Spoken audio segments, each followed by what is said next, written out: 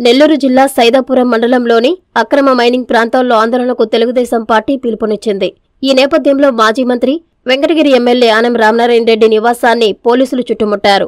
ఆయన్ని బయటకు వెళ్ళనీయకుండా గేటు ముందు కాపుకాశారు దీంతో ఆనం పోలీసులు వ్యవహరిస్తున్న తీరును గట్టిగా నిలదీశారు. ఇది మంచి పద్ధతి కాదన్నారు. మీరు కాపు కాయాల్సింది ప్రజలకని ఒక సైకోకి కాదని మండిపడ్డారు. నా నలభై ఏళ్ళ రాజకీయ జీవితంలో మొట్టమొదటిసారి ఒక కానిస్టేబుల్ నా ఒంటి మీద చేయి రామనారాయణరెడ్డి రెడ్డి అడిగే ప్రశ్నలకు పోలీసులు సమాధానం చెప్పలేక మిన్నకుండిపోయారు. అనంతరం ఆనం మీడియాతో మాట్లాడారు. గౌరవాన్ని మీరు కూడా కాపాడుకోండి. మీకు యూనిఫామ్ ఉన్నంత మాత్రాన మీరు మేము చాలా గొప్ప వాళ్ళం చాలా దైవాంశ సంభూతులం అనుకోబాకండి. మీరు కాపు కాసేదంతా ఒక సైకోకి. ఒక సైకో కాపు కాస్తున్నారు మీరు. ఇవాళ ప్రజలకు కాపు కాయడంలా. ఒక సైకో కాపు కాస్తా నన్ను అడ్డుకుంటున్నారు. నా నలభై ఏళ్ళ రాజకీయ జీవితంలో మొట్టమొదటిసారి ఒక పోలీస్ కానిస్టేబుల్ నా ఒంటి మీద చేయడం అవసరమా మీకు అది? పనిచేసిన ఎమ్మెల్యే ఇరవై సంవత్సరాలుగా మంత్రిగా ఉన్న ఒక ఎమ్మెల్యే ఉమ్మడి ఆంధ్రప్రదేశ్లో ఉన్న ఎమ్మెల్యే ఇక్కడ ఉంటే కనీసం ఒక్క రోజు ఆ ఇంటి సంగతి ఏంటి? ఇంటికి ప్రొటెక్షన్ ఏంటి అని చూడడానికి కూడా ఇటు పక్క కన్ను తిప్పని నువ్వు ఈరోజు నన్ను అడ్డగించడానికి వస్తావా?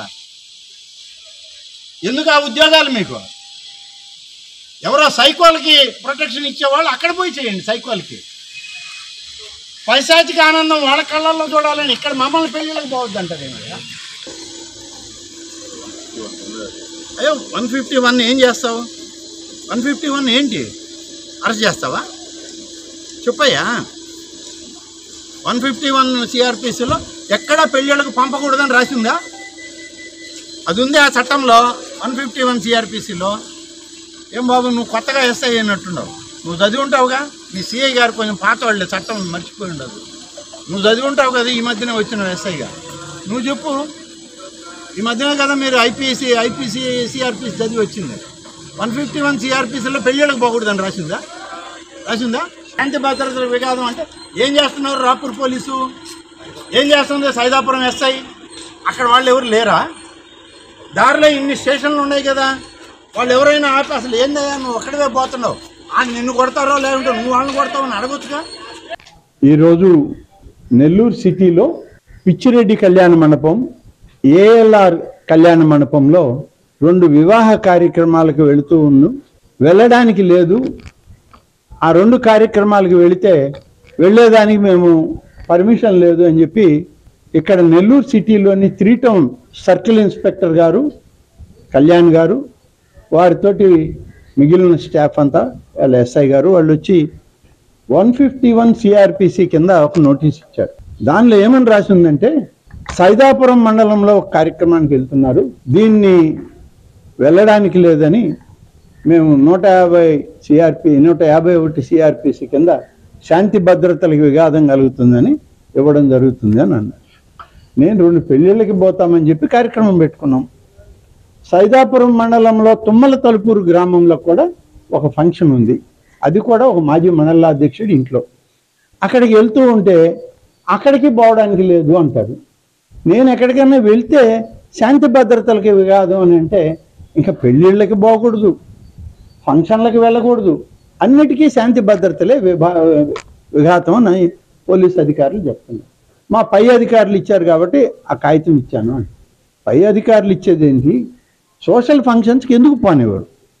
అది నేను వాళ్ళని అడిగింది. పోనీ మీరు ఫలాంది ఫలాంది అని చెప్పి రాయండి.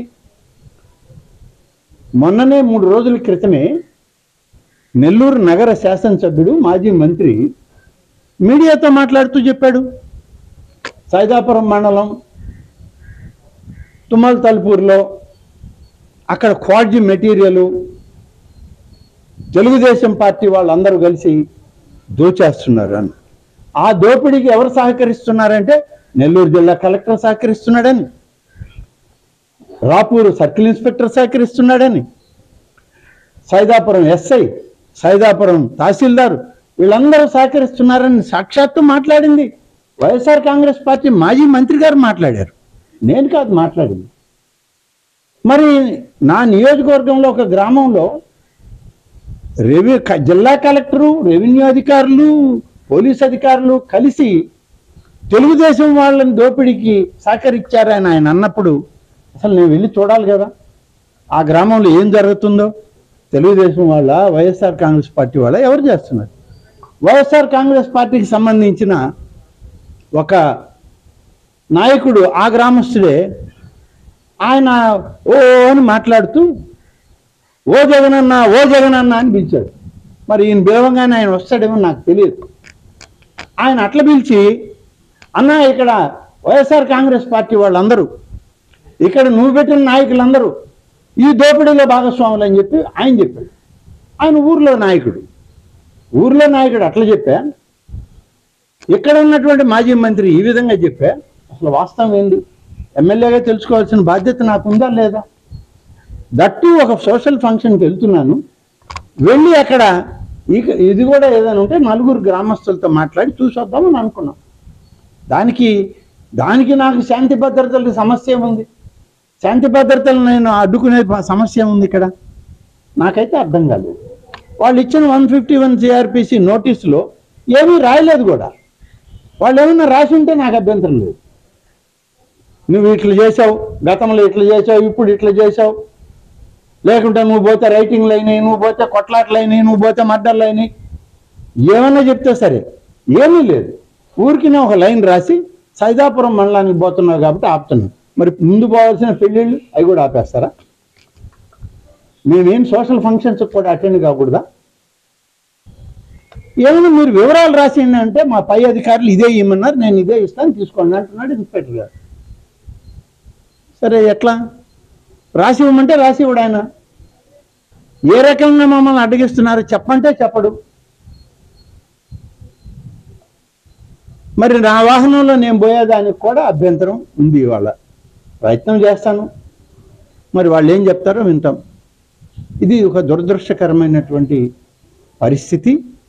ఈ రాష్ట్రంలో ఇవాళ అధికారంలో ఉన్నటువంటి వైఎస్ఆర్ కాంగ్రెస్ పార్టీ ప్రభుత్వం జగన్మోహన్ రెడ్డి ముఖ్యమంత్రిగా ఆయన సలహాదారులు ఇచ్చేటువంటి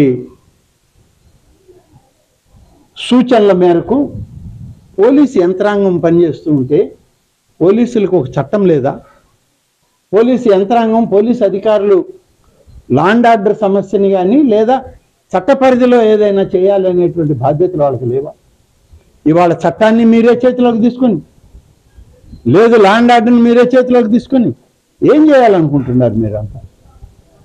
అసలు సామాన్యమైనటువంటి వ్యక్తులకి ఇక్కడ ఏ రకంగానూ భద్రత లేదు దాన్ని పరిష్కరించే మార్గము లేదు. ఎవరైనా సరే వాళ్ళని నిలువరిద్దాం వాళ్ళని అరెస్టులు చేస్తాం దాచేస్తాం దోచేస్తాం. ఈ పనులలో ఈ ప్రభుత్వ విధానాలు ఉన్నాయనేటువంటి వా- మాట ఇవాళ చెప్పని తప్పే పరిస్థితి కాదు.